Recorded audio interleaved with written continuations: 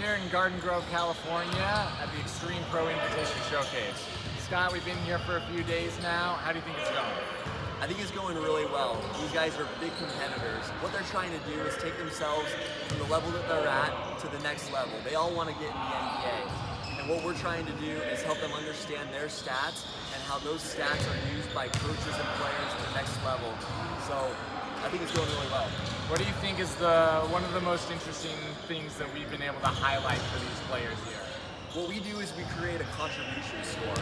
This contribution score helps to take all the different elements that a player has in their stats, brings it together into a single score, and helps them understand how they're affecting the game. The higher your contribution score, the more you're impacting the game. And I think one of the most interesting things that a higher contribution score at team level means the team is working together a whole lot better. So we had a really interesting game yesterday between two pro teams. We did. Where they actually, after regulation, they tied, but what was their contribution score? Were they the same? No, they were different. So what does that mean? The score was the same, but the contribution score was different.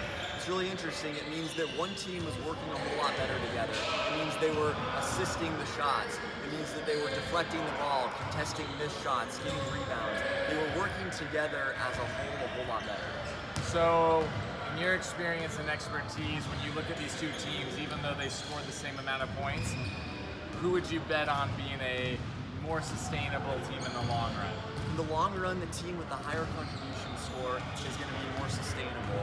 They're going to be able to work through times when maybe the individual player isn't shooting well. A team with a lower contribution score typically means that guys are trying to go off and do ISO plays. They're trying to contribute individually as opposed to playing together as a unit. We've learned at Pivot Sports that the higher contribution score you can have individually and as a team, the better chance of your team being more successful